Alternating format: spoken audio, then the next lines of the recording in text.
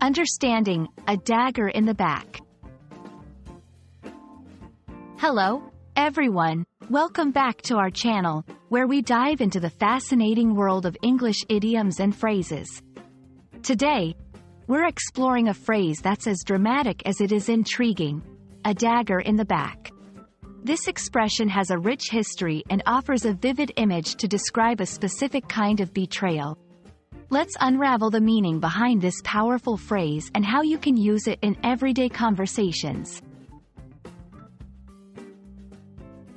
The phrase, a dagger in the back, is used to describe an act of betrayal or treachery that is unexpected and particularly harmful, coming from someone who is presumed to be a friend or ally.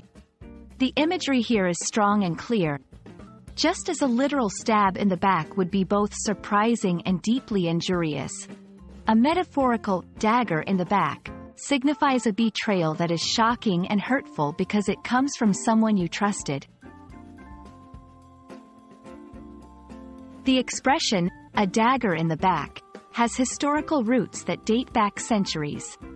It conjures up scenes from plays and literature where betrayal is a central theme, while it's hard to pinpoint the exact origin, this phrase captures the essence of treachery in a vivid and impactful way, making it a favorite in both historical and contemporary narratives.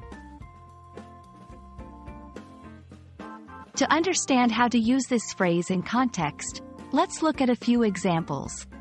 Finding out my business partner was stealing from the company felt like a dagger in the back, especially after years of friendship.